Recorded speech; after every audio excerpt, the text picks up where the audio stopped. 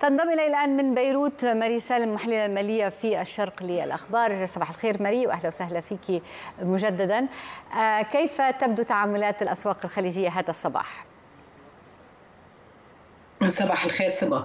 يعني لهلا بعدنا عم جرب إني ضل ملحقه على التعديلات اللي عم بتصير بقلب الأسواق. يعني كان في عنا ارتفاعات بسوق دبي المالي من شوي انعكست صورة إيجابية بسوق أبو ظبي المالي.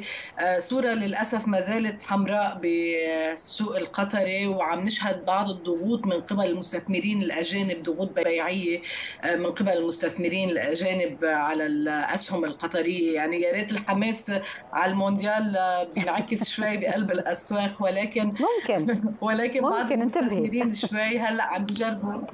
صحيح. بعض المستثمرين عم بيجربوا to de-risk بهذه الفترة بقلب الأسواق لحتى يتجنبوا المخاطر يلي ممكن إنها هي تصدر. آه، ولكن الأسبوع بشكل عام ما كان كثير إيجابي بالنسبة للأسواق الخليجية.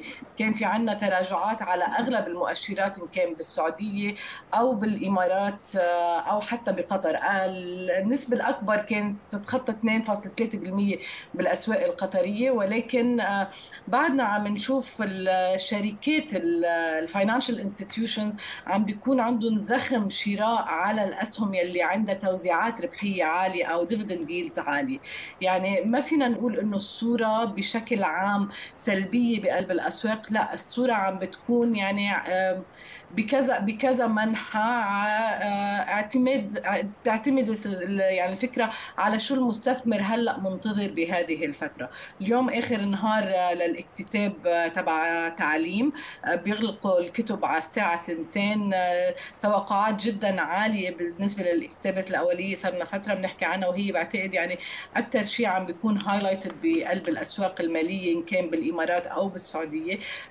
ما رح نشوف يعني بتخيل أحجام تداول كثير كبيرة ولكن حيكون في ضغط نوع بيع قبل نهاية الأسبوع خاصة إن المستثمرين عم بيجربوا إنه يخفضوا المخاطر تبعهم من بعد التراجعات اللي شفناها بالأمس بالأسواق العالمية والاسواق الآسيوية صباح اليوم. ماري سالم شكرا جزيلا لك بنرجع لك طبعا في آه، لمزيد من التفاصيل والتحديث عندما آه، إذا تواجد. شكرا جزيلا لك.